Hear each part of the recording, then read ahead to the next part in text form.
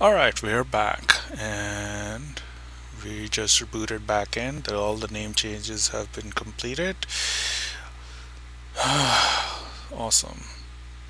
Services. Uh, system update. Let's see if the update will work this time. Amazingly, it is working. Perfect. So there is a new update. Uh, we can do that.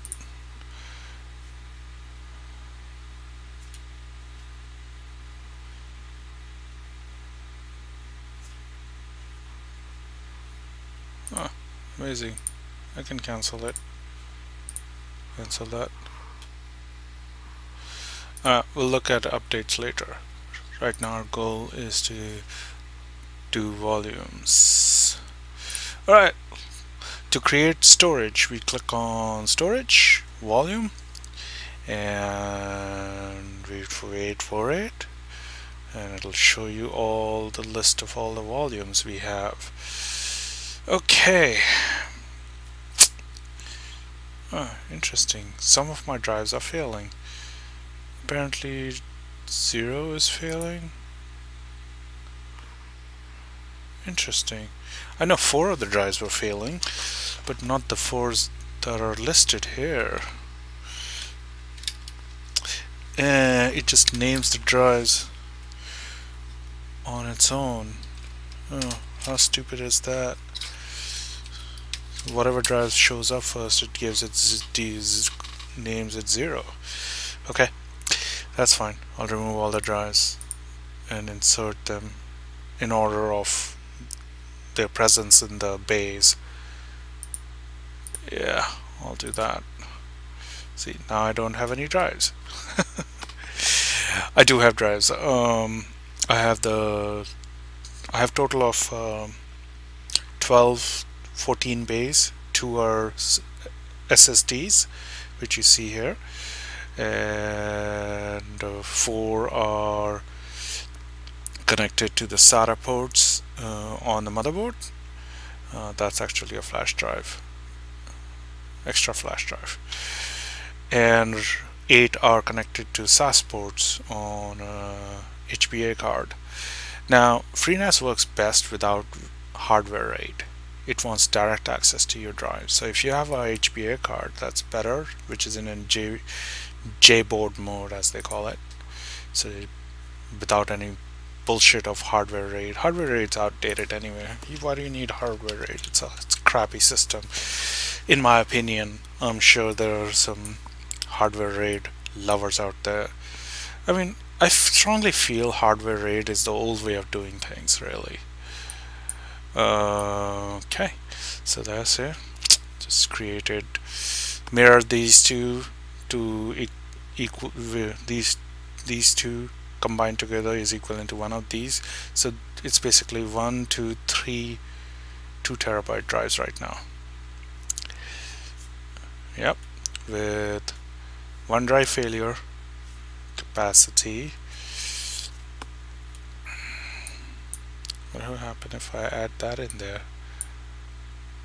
Nothing. Okay so let's remove that add that here here. Let's connect all the drives rest of the drives so they would show up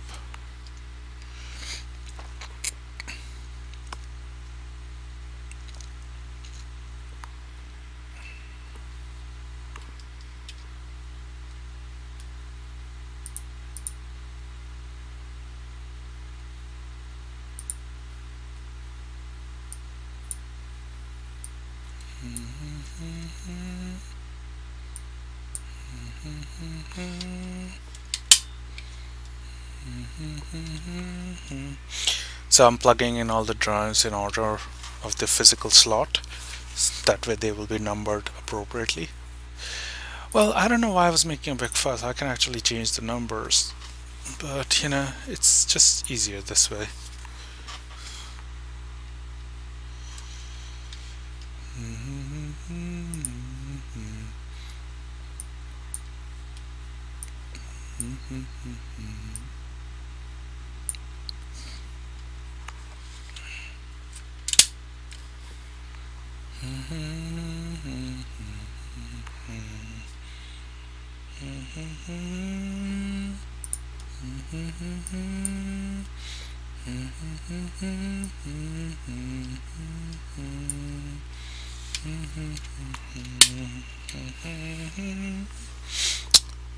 All right, let's see where we are at.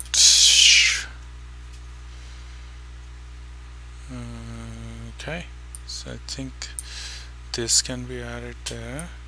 And its companion has been added as well. So that gives me 6.37 terabytes of storage with enough parity.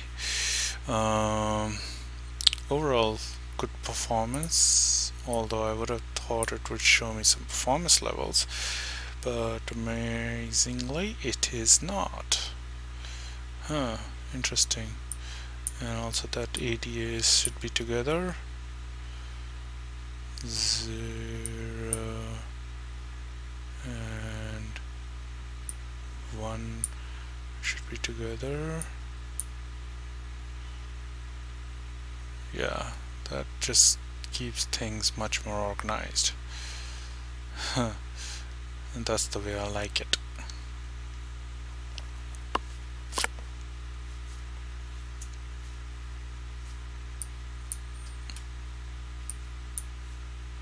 perfect. I think that looks good.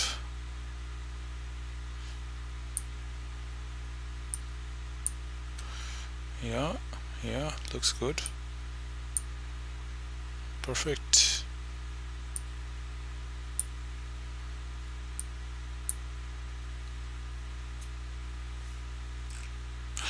So you can add drives to the spare if you want to uh, I have log file here as well as the uh, cache file.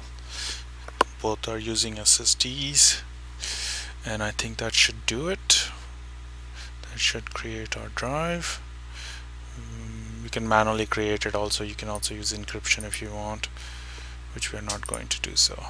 We hit create and it's creating the volume now.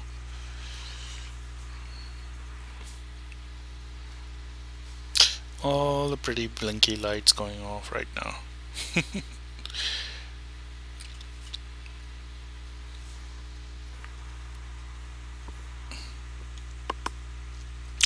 This shouldn't take too long. Uh, so user accounts directory services we've already talked about that uh, I've already spoken about setting up uh, the network infrastructure to connect to it uh, giving a static IP to the 10 gig car port that has a direct connection to my PC I will do a data transfer demonstration in a minute. As soon as the volume is created volume has been created it's super fast. 6.37 terabytes cre volume created in no time going into shares. Now this is where we set up the share. NFS is the Windows share. You can also set up sorry SMB is the Windows. NFS is the Unix and Linux share. AFP is Apple. iSCSI you can set up iSCSI target and WebDAV I think that's like a cloud. Okay we're going with the SMB give it name backup. Guest allowed. Browsable is fine. Oh do I really want it to be browsable? No removing browsable. Change this to no body to allow anyone to access it. Good. Change that to no group. Basically making the share available for anyone hit save it'll take a moment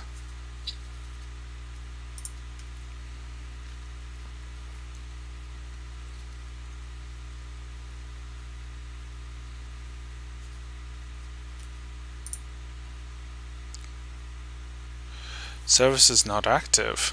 Interesting. Let's look at the service. I was pretty sure I activated the service but oh I did not. Alright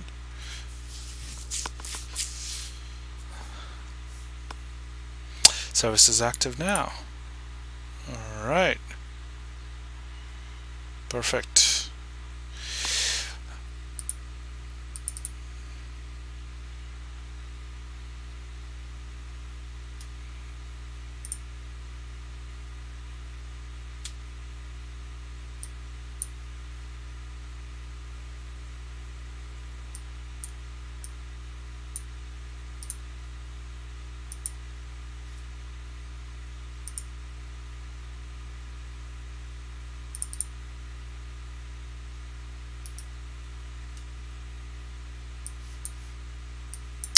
Alright, so let's do a test data transfer. See how things look. Uh, okay. So, hmm. you see here's the 10 gig. I already mapped it um, using the IP address because we have a use we use a static IP address. So let's open that up. Let's hide okay perfect. Nice empty space. Yep showing exactly the amount of space there is. Alright now let's grab some data that's uh, large enough so we can use it. Uh,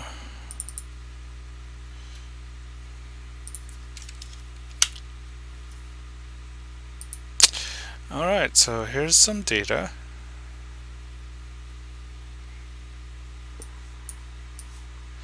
Perfect.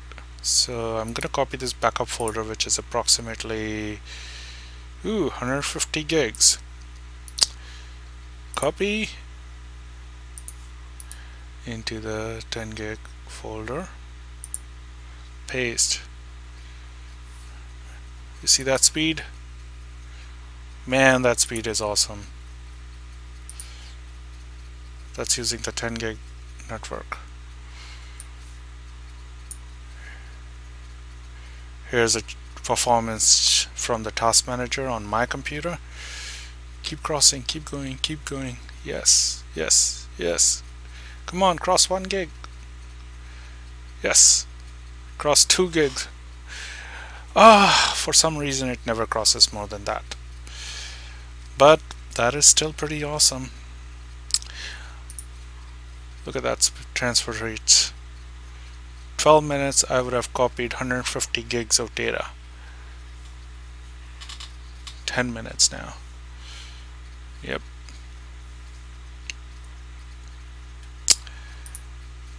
Booyah.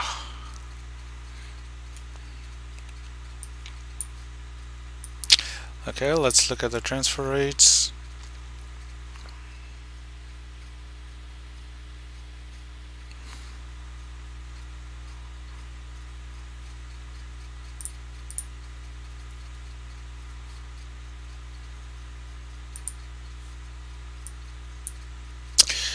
Uh, look at those drives writing.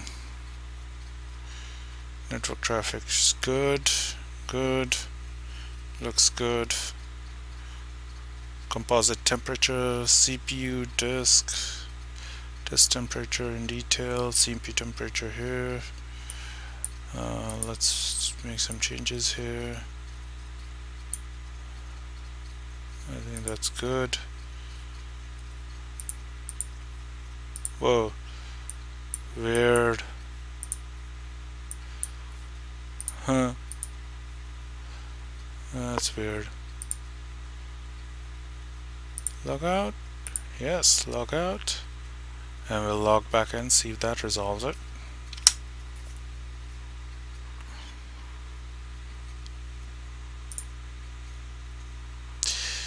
Okay.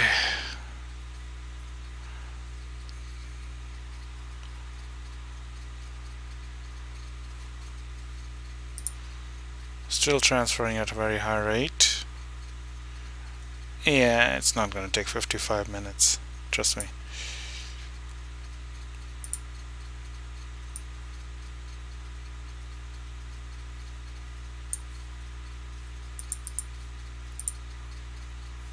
Again, it's messed up. Oh my god. That is such a bug. Are you seeing this, FreeNAS people? I hope you are. Alright, let's log out again and come back. Well, I haven't downloaded the latest update, so that could be an issue there. It might be resolved once I download the latest update.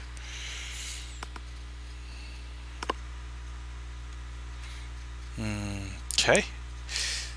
Alright, we're gonna do this one more time. Well, why not just remove it and add it. There, fixed. Uh, not really. No, it's better. Sorry, OCD. Makes sense. But now I feel like both the network traffics should be together. Okay, let's try that. Yes, that's better. Perfect. Perfect. Looks good. Looks good. Let's look at our storage. Okay, let's look at the topology of our storage. Good. Looks nice. Pretty good fast storage going on right there.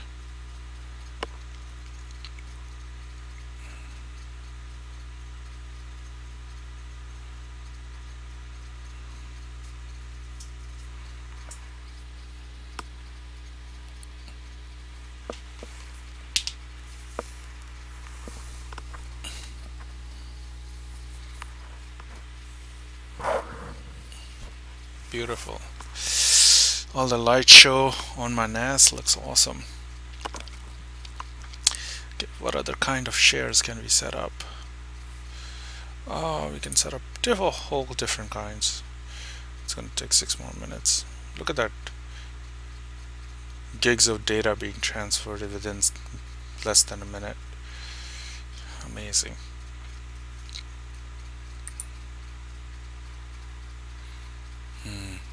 Let's set up another volume.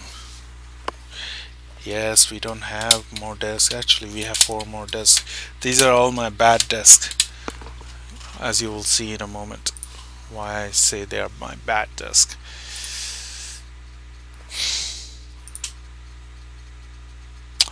come on disk show up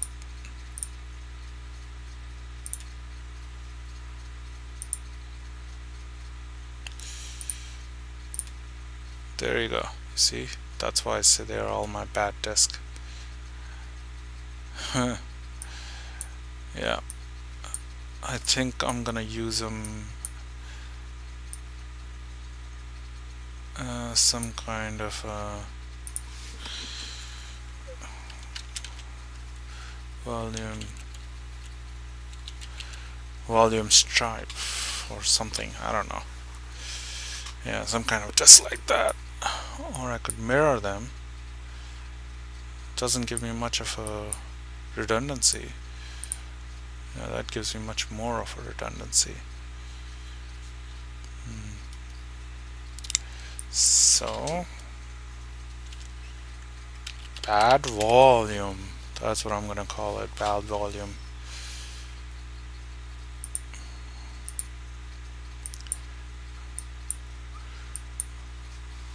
Yeah, that's more like it. 3.64 terabytes. Let's create that. Yeah, I have some, I have four slots and I have like four failing one terabyte drives in them. So I gotta use them for something. Not really, can't really use them for uh, anything reliable. So I'm gonna use them as sort of a test volume. Stripe them together as I did. And let's see if we can set up some very very fast transfer data transfers. Again setting up uh, SMB window share. Test one test allowed. Permissions change to no group. Oh, I'm sorry no buddy perfect. New group. Perfect. Done.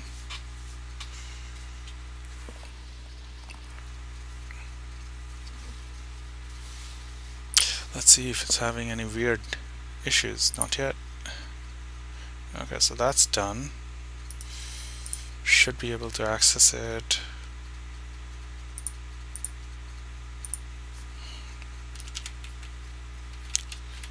Sixty-eight. Yeah, I don't care if you can see my IP address, but you don't be you won't be able to access it. So, whatever.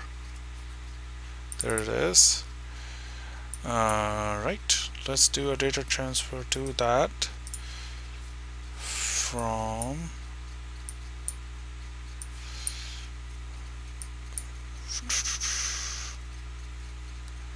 come on where's a large video file. Okay there it is. A 2.24 gig video file. Copy paste.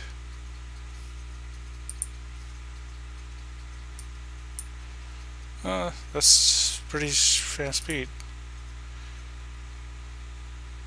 Yep. It's a pretty fast speed uh, of course it's been split between this and the other one. But still pretty fast speed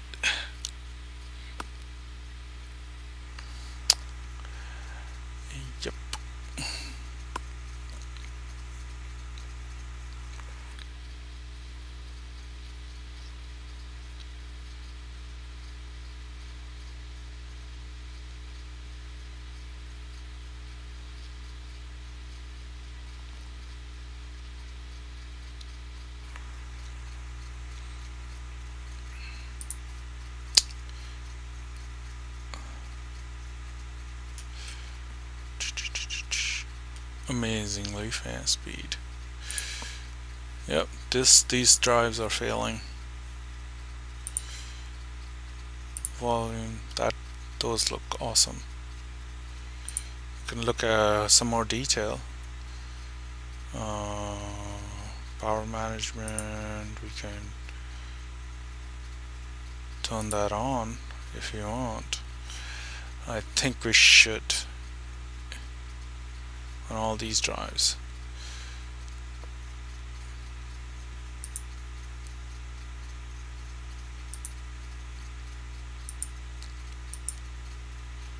Yeah.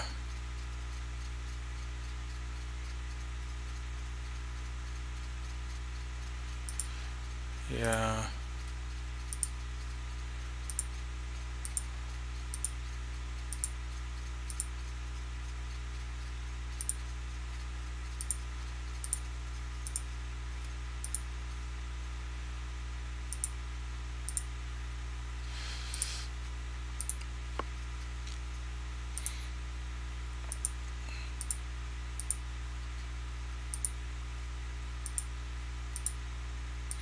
So setting the power settings on all of them. Let's see what kind of effect that has on our data transfer. Whoa that's pretty bad.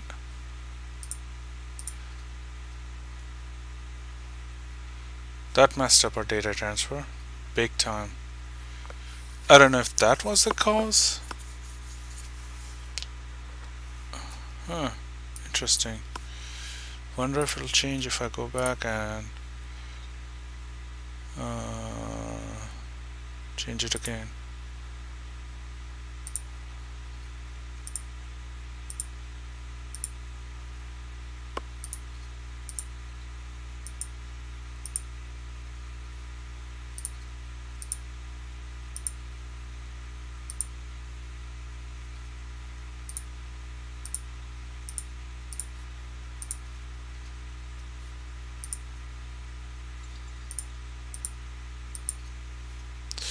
Doesn't seem to be having any effect on it.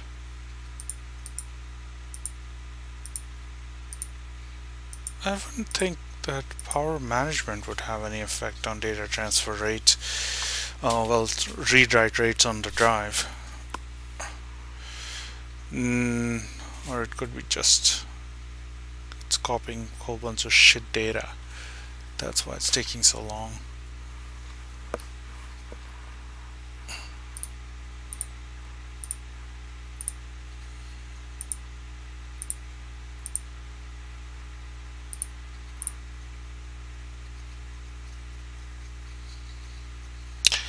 It did have effect on it. Interesting. It went all the way up and then they came back down. That's the effect it had on it. Ah. so let's do that. See if it has effect on it again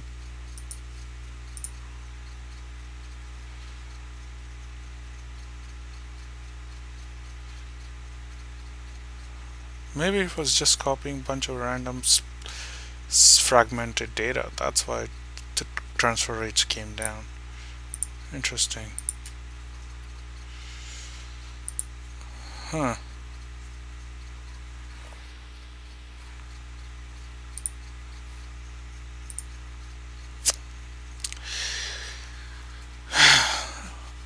okay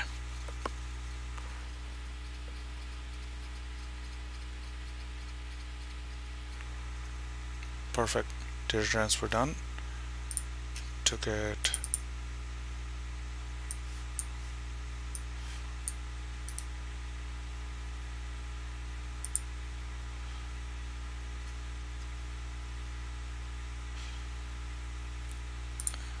Yes, we know it's 150 gigs. Uh, didn't take it that long to copy everything over, so that was pretty damn good.